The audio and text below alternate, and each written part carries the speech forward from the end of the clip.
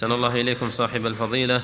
وجزاكم الله خيرا. هذا السائل يقول رجل يعمل معصية ثم يندم ثم يندم ويستغفر ثم يندم ويستغفر ويعمل أعمالا كذلك مع علمه أنه سيعود إلى ذلك الذنب وذلك لضعفه وعدم قدرته على تركه.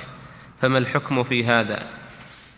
هذا لا يخلو من أحد أمرين. إما أنه يتوب توبة باللسان فقط وهو ما عزم على ترك الذنب وهذا لا توبة له. وإما أنه يعزم على ترك الذنب ويتوب توبة صحيحة لكن يغلبه الهوى والنفس والشيطان فيقع في المعصية مرة ثانية. وهذا أخف من الأول هذا توبة صحيحة لكن إذا وقع في الذنب مرة ثانية لا يقنط من رحمة الله يتوب إلى الله يكرر التوبة. يكرر التوبة كل ما تكرر منه الذنب ولا يقنط من رحمة الله. نعم.